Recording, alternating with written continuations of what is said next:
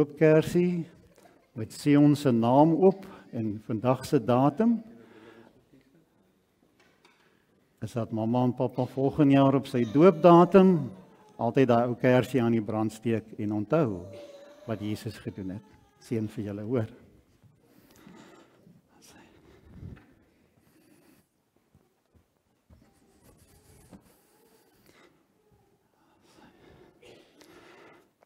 Vriende, kom ons maak die Bybel oop. Lukas 15. Ja, die baie baie bekende gedeelte. Maar dit is so kosbaar as jy met die Here se woord werk.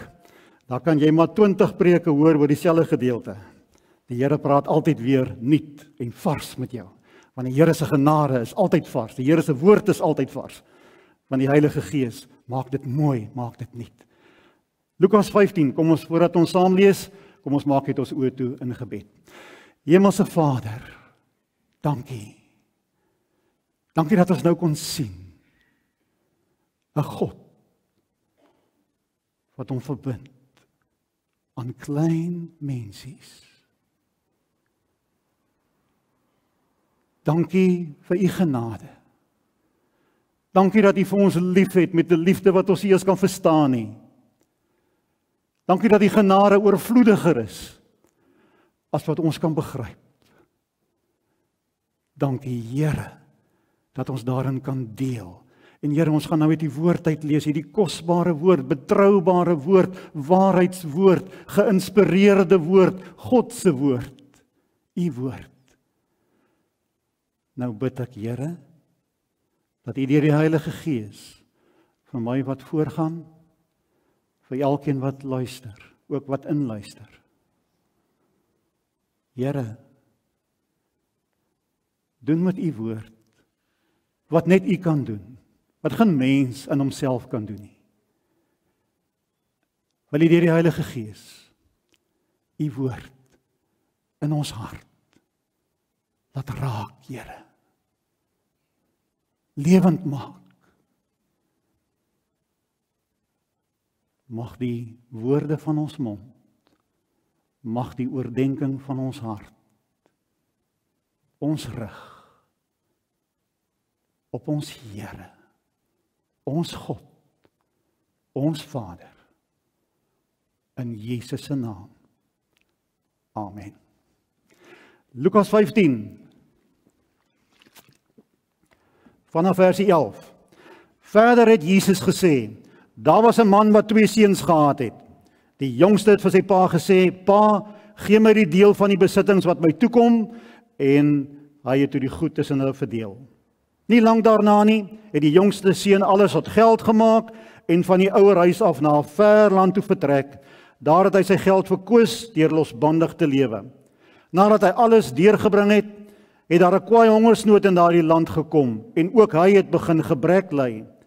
Hy het toe sommer by een van die mense van daardie land gaan bly en dit het hom na sy plaas toe gestuur om varke op te pas. Daar het hy gewens dat hy sy honger kon stil met die pele wat die varke eet, maar niemand het hom daarvan gegee nie. Toe kom hy tot inkeer en sê: "My pa het wie weet hoeveel dagloners en hulle het almal oorgenoeg kos en hier vergaan ek van die honger. Ek sal dadelik na my pa toe teruggaan." En vir hom sê pa ek het teen God en teen pa gesondig. Ek is nie meer werd om pa se seun genoem te word nie. Behandel my soos een van pa se dagloners. En hy het sonder versuim na sy pa toe teruggegaan. Toe hy nog ver aankom het sy pa hom al gesien en hom innig jammer gekry. Hy hardloop hom tegemoet omhels hom en soen hom. Hy sê toe sê die seun vir hom Pa, ek het teen God en teen Pa gesondig. Ek is nie meer werd om Pa se seun genoem te word nie. Maar sy pa roep sy werksmense: "Maak gou. Bring klere, die beste en trek dit vir hom aan. Sit vir hom 'n ring aan sy vinger en trek vir hom skoene aan." En bring die vetgemaakte kalf, slag hom en laat ons eet en feesvier. Hierdie seun van my was dood en hy lewe weer. Hy was verlore en ek het hom teruggekry. Toe het hulle begin fees vier. Sy oudste seun was nog in die veld. Toe hy terugkom en naby die huis was, hoor hy die musiek en die singery. Hy roep toe een van die bediendes nader en vra hom wat aan die gang is. Die bediende antwoord: "U broer het gekom en die pa het die vetgemaakte kalf geslag omdat hy hom behoue en gesond teruggekry het. Toe die oudste broer kwaad geword en hy wou nie in die huis ingaan nie. Sy pa gaan toe uit en praat mooi met hom. Maar hy antwoord: "Kyk, al die jare werk ek soos 'n slaaf vir pa. Nog nooit het ek 'n opdrag van pa verontagsaam nie.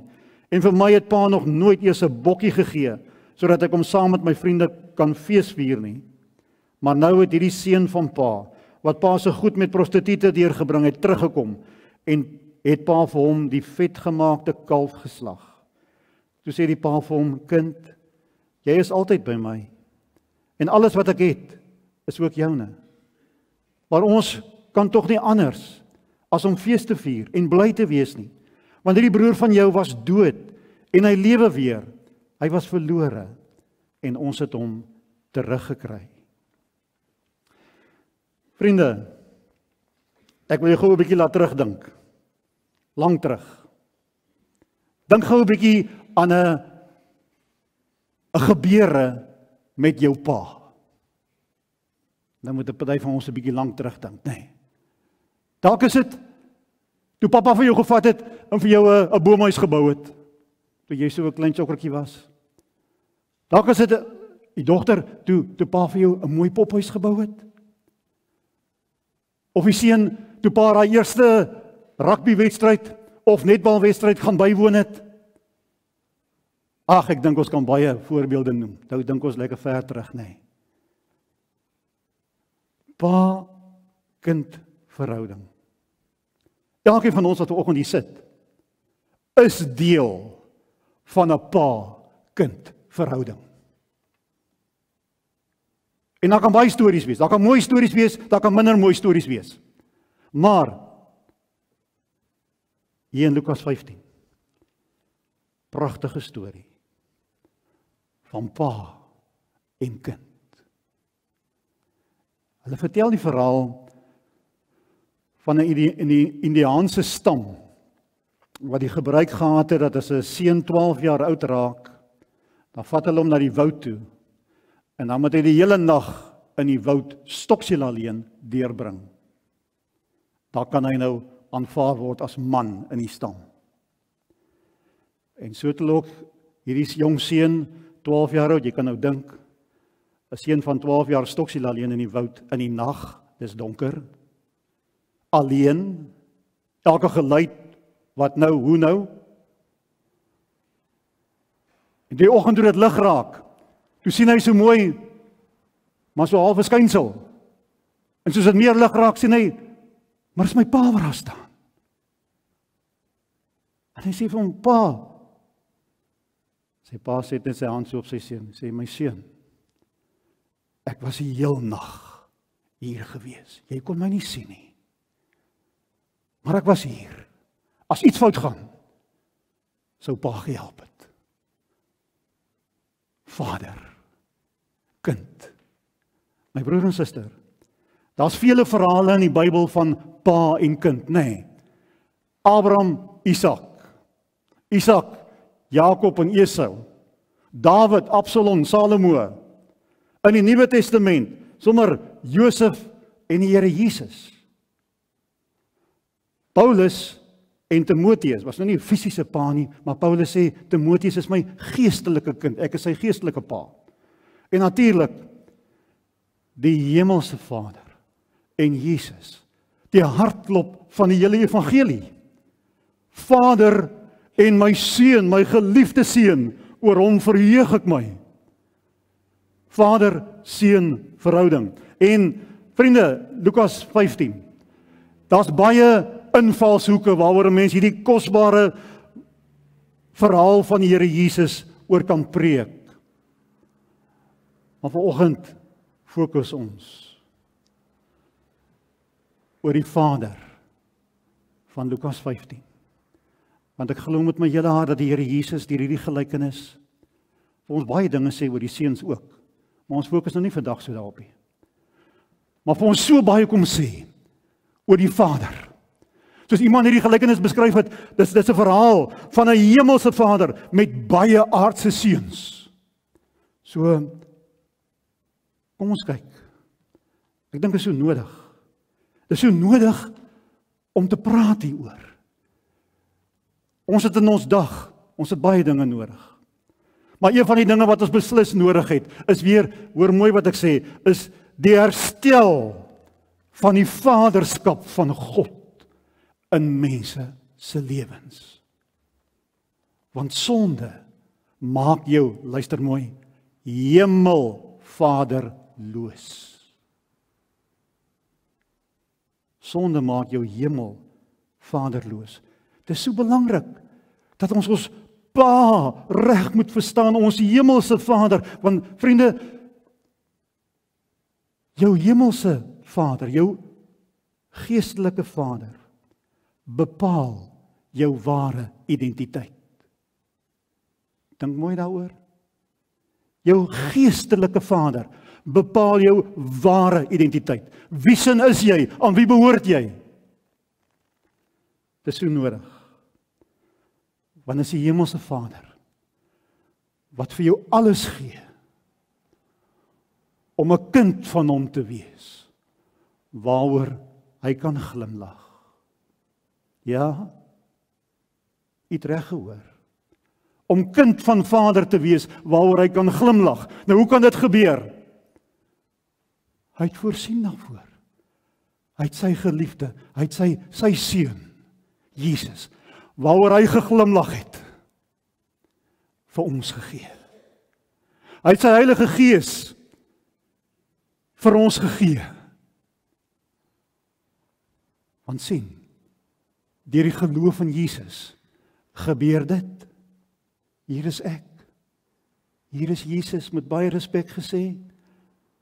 Wat beteken Bybelse geloof? Bybelse geloof beteken dit ek in Christus en Christus in my. En nou raak Jesus se mooi verhouding met Vader gee dit af aan Jannie. En kan Jannie ook in 'n verhouding met Vader leef deur die groot genade 'n verhouding wat Vader soms ook laat glimlag oor ons. Die herstel van hemelse vaderskap. Nou kom ons kyk. Kom ons kyk hoe die Here Jesus, die een wat die Vader die beste ken, die een wat sy hele lewe op aarde gekenmerk is deur 'n baie intieme, besonderse, lieflike verhouding met Vader God. Kom ons kyk hoe hoe Jesus dit vir ons teken want 1 Lukas 15 kom kom teken Jesus vir ons die Hemelvader pragtig. Pragtig. O, oh, die eerste ding wat ons moet sê is Lukas 15. Hy's 'n Vader met 'n hart vir sondaars, vir verlorenes. Ek het nou nie versie 1 gelees nie, maar versie 1 van Lukas 15 moet jy nooit mis nie. Die tollenaars en sondaars het almal die gewoonte gehad om na Jesus toe kom luister. Die tollenaars en die sondaars. Hulle het graag na Jesus toe gekom. Hoekom? Want sien, hulle hulle het in Jesus iets gesien. Hulle het 'n liefde gesien in Jesus straal maar net uit wat wat hy van Vader ontvang het. Hy self gesê, hy doen en hy sê wat hy Vader hoor sê en doen. Hy het, hy het Vader se liefde uitgestraal en ons Vader is 'n Vader met 'n hart vir verlorenes. Mense se redding. Mense se genesing O, oh, lê op Vader se hart. Lê op Vader se hart. Hy is die Vader wat alles besit hier in versie 12, né? Nee? Die seun kom na hom toe. Vader wat kan verdeel. Want alles be, hy besit alles. En hy gee. Hy gee graag. Hy's bereid om te deel. En dan lees ek van ons hemelse Vader hier. Hy is die Vader wat ons ons keuses toelaat. Hy gun ons ons keuses. Hy gun vir hierdie seun sy keuse. En hy bly lief vir sy seun ten spyte van daai keuse. Die seun het nie geweet van die verland nie. Hy het net gedink aan die lekker van die verland. Hoe het iemand gesê? Van die gras aan die kant die draad wat so groen is, En niemand het vir jou gesê dis dubbeltjies hier en dit steek nogal seer. Hy weet nie van die van die verland se pyne in in verkeerd nie. Vader weet. Maar Vader, gun hom. Gun hom sy keuse. Want die pad van sonde, die verland, is my so interessant. So tipies, né? Nee? Sonde begin mos altyd by geniet. Soort van geniet. Maar dan nou die geniet op. En dan Satan so lekker in 'n mense oor kom fluister oor die lekker van sonde, die geniet van die sonde, dat hy se nooit vir jou vertel van die varke wat vir jou wag nie. Want die Bybel sê, die uit, uiteinde pad van sonde is die dood. Maar die Vader wat vir ons sy kinders keuses gun.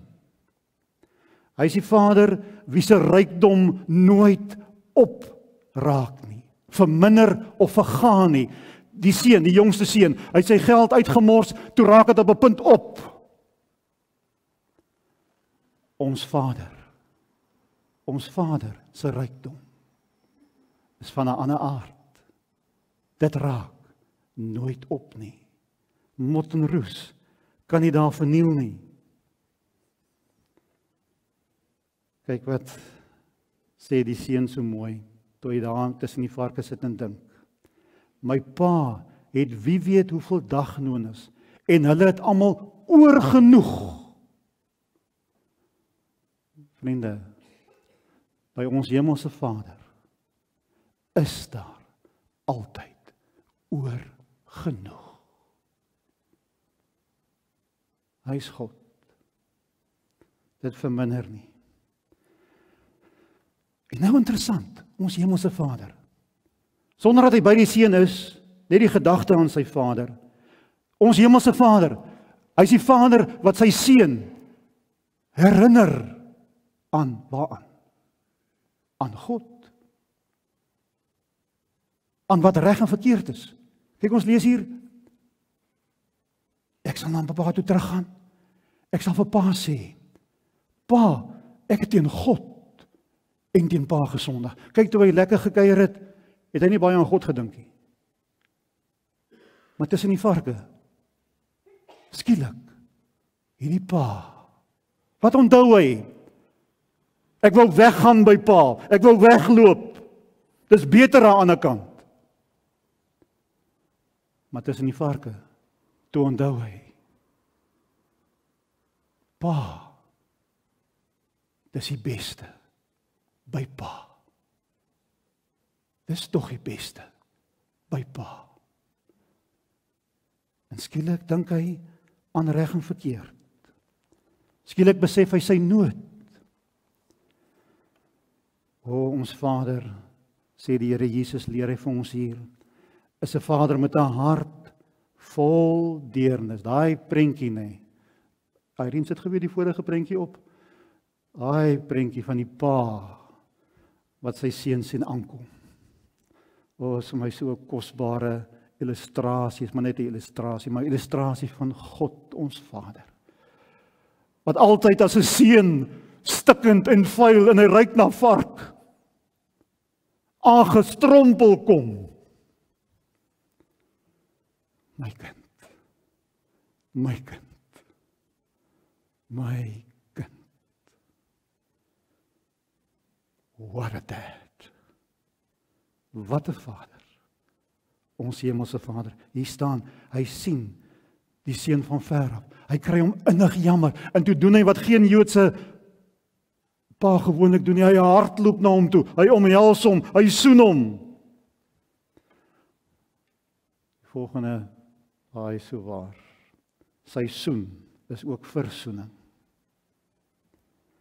Hy is die Vader wat graag herstel en seën. Hierdie kyk ons hierdie pa hier, maak gou. Daar's 'n dringendheid by die pa. Hy kan nie so in hierdie vodde leef nie, want hy's my kind. 'n Kind van Vader leef nie so nie. Maak gou, trek uit. Die ou klere, die vuil klere. Bring vir hom 'n kleed.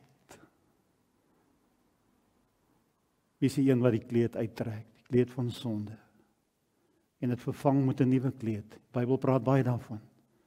Ons lê ons sonde voor Jesus neer en hy beklee ons met sy kleed van geregtigheid. Bring 'n ring. Kyk, daai kleed, nê, nee, is is beteken dit die reinheid is herstel. Die die ring wat die pa vir hom gee is beteken die verbintenis, die verhouding is herstel. Jy dra pa se ring, amper soos by die doop. Jy dra Sion. Dra pa se se merkie, genade merkie. Kosbaar.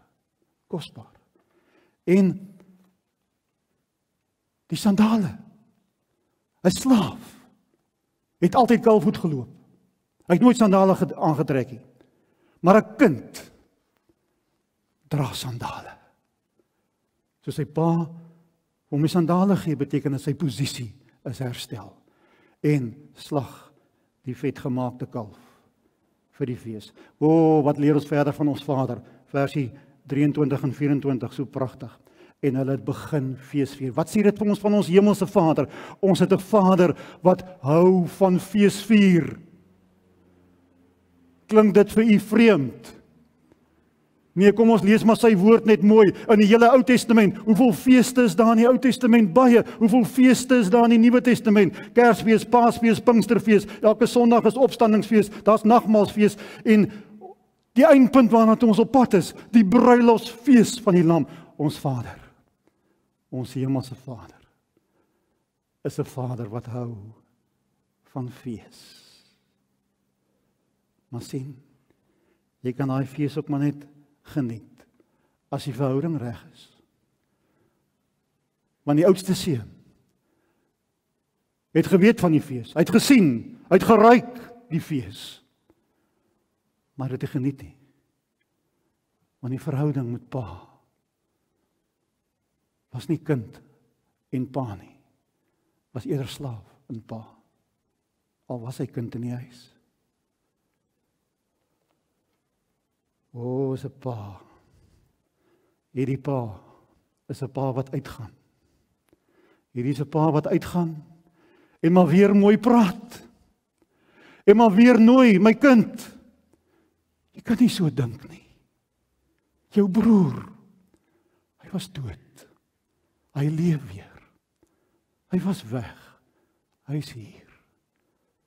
Kom in my kind. Kom in. Die fees is vir jou ook. Dis vir jou ook. So asof ek as ek daai prentjie so sien, dan dink ek 'n ou haleluja lied. Ek kan hoor my heiland roep my. O die Vader se roep, né? Die Vader se roep. Kom my kind. Kom. Vir die jongste seun kom weg tussen die varke vir die oudste seun. Kom my kind. Kom weg uit 'n soort godsdiens wat geen vreugde het nie. Want jy ken nie jou pa nie.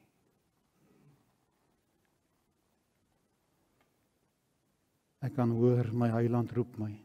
Dis dalk hoekom die Here die heel laaste paar verse in die Bybel in Openbaring. En die gees roep. Kom. Kom. Kom ontdek hierdie Vader. Hierdie amazing grace Vader. Abba. 'n Vader hy's 'n Vader wat nie liefde bereken op grond van verdienste nie Kyk wat doen die oudste seun hè. Vader, ek het so hard gewerk in so en so en so en hierdie bokkie en daai in in so en so en so en ek maak die sommetjie en ek maak die sommetjie. Vader Ons Vader maak nie sommetjies nie. Hy maak nie sommetjies nie. Hy het net een som. En dit is 'n genadesom. Betaal deur die bloed van Jesus. 'n Genadesom. Sjoe. En die laaste ietsie wat ek wil uitlig. Hy is die Vader. Dit moet ons nie mis nie. So belangrik hierdie. Versie 32 staan daar. Sê vir die oudste seun. Hierdie broer van jou was dood en hy lewe weer. Hy was verlore. Die ou vertaling sê dit so mooi hier en hy is weer gevind. Ons Vader is 'n Vader wat jubel, wat juig oor die weer lewe. Die weer vind, terugvind vir die mense wat dit dalk verloor het. Ek wil sommer net 'n paar addisionele dingetjies oor ons, nie dingetjies nie, waarhede, Bybelse waarhede oor ons Vader ook vir die deur gee. Nou gaan nie daaroor praat nie, dis 'n preek in sigself. Maar hierdie Vader wat Jesus aan ons voorhou in Lukas 15. Die mooiste doel wat daar ooit kan wees vir my en jou lewe om al meer en meer gelykvormig te word aan die beeld van Jesus 2 Korintiërs 3:18. Dis sy dis sy droom vir jou en my. Daar kan nie 'n mooier droom wees as dit nie. Want alleen met Jesus in Janie. Onthou jy wat ek het vir julle gesê het? Jesus Janie. Hy in my, ek in hom. Alleen dan kan Janie die Janie wees wat God laat glimlag as Jesus in Janie is. En sy gees, die mooiste doel die oorvloedigste barmhartigheid. Want sien Janie struikel baie en hy val. Hy tog. Hy tog. En dan kom hierdie Vader, die Vader van die groot optel. Dan buig hy maar weer af. En dan maak hy daai lied wat u en ek en jy so lekker sing. Baie diep haal hy my uit maak hy dit maar weer waar. En maak hy dit maar weer waar. En maak hy dit maar weer waar. Die genoegsaamste voorsiener. Ja, Hemelvader gee nie vir ons altyd alles wat ek en jy wil hê nie.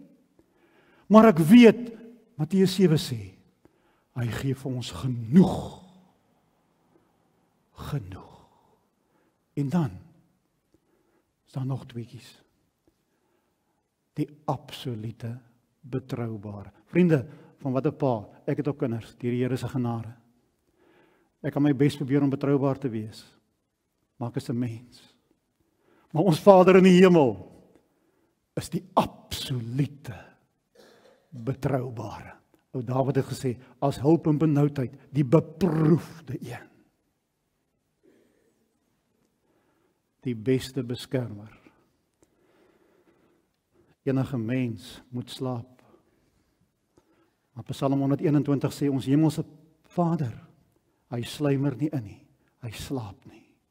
Die beste beskermer. En nou Nou vriende.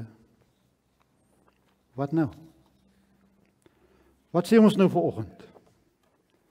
Wat sê ons nou vir oggend? Ek wil graag hê en ek vertrou die Heilige Gees om terwyl jy so gesit en luister het net opnuut vanoggend te sê wow wat 'n vader wat 'n vader so 'n vader wil ek lief hê so vader wil ek dien So Vader, wil ek die pad mee saamloop. So Vader, wil ek vir ewig by wees.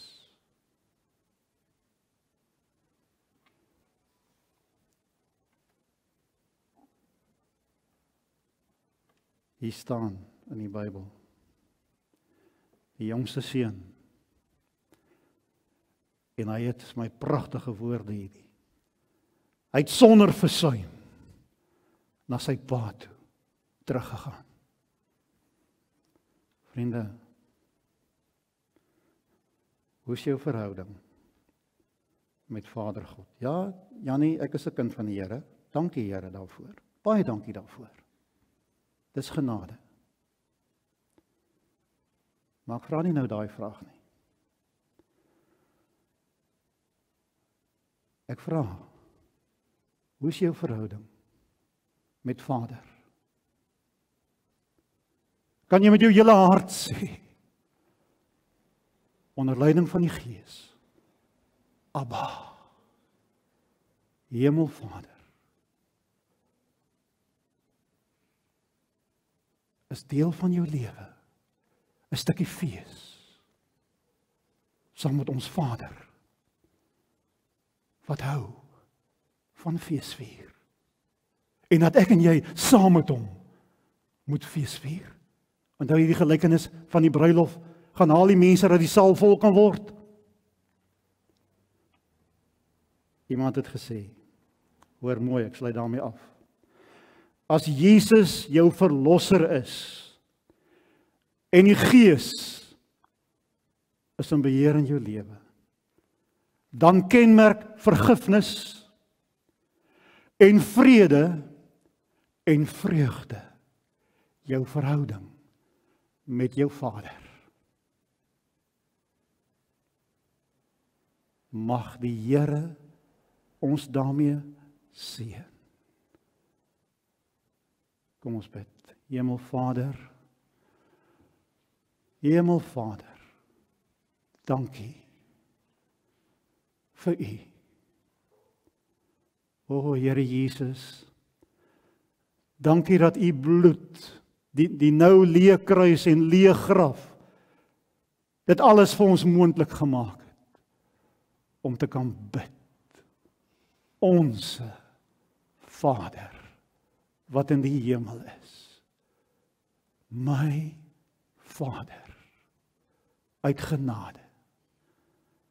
'n Vader wat by klein seentjies so Sion en ons lank terug kom stil staan het. vir ons kom uitnooi het. Klein Sion. Kom ontdek jou hemelse Vader. Dat jy nie vaderloos, hemelse vaderloos in hierdie wêreld leef nie. Dankie Jesus vir wat U gedoen het. Dankie Heilige Gees dat U die heerlike waarheid hiervan vir ons elke dag ons toerus, ons begelei, ons troos, ons bemoedig, ons help op hierdie pad. Ek wil vir oggend vir u sê u is 'n unieke Vader. Daar is niemand soos u nie. Here skenk my die genade. Lei my deur die Gees om vir u lief te wees met 'n liefde wat u aanbid, wat u gehoorsaam. Met 'n liefde wat in hierdie wêreld iets vertoon dat u my Vader is en ek u kind is. Here, ek bid dat u hierdie gemeente sal lei in die beroep van 'n leraar. Dat u deur die Heilige Gees baie duidelik sal lei, Here. Dis u kerk. Ook vir Orelus vir die gemeente. Here vir die baie mense kosbare lidmate in hierdie gemeente wat siek is, wat worstel met of dit kanker is of watter siekte ook al baie siektes, Here.